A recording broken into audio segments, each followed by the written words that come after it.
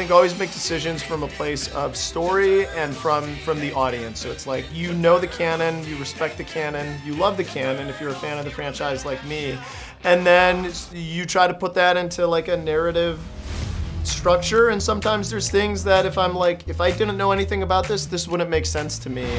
Master Splinter has given us a very important mission for tonight. The target is across the street.